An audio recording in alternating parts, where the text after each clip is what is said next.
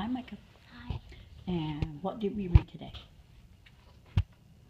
I don't know. What is it? Hunting treasure hunt. Pattern, Pattern, tastic, toxic, treasure, treasure hunt. hunt. Turn it around so people can see. And what kinds of stuff is in this book?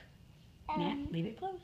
polka dots, And, stripes, yeah, and what has spots? Not, don't open it. What has spots? cheetah. Cheetahs. And what has stripes? I don't know. No, yes you do. Okay. Zebra. Zebra, good job. And did you like this book? Yeah. What's your favorite part? Um, I like the kitty. You like the kitty? Yes. Yeah. And how does this book make you feel?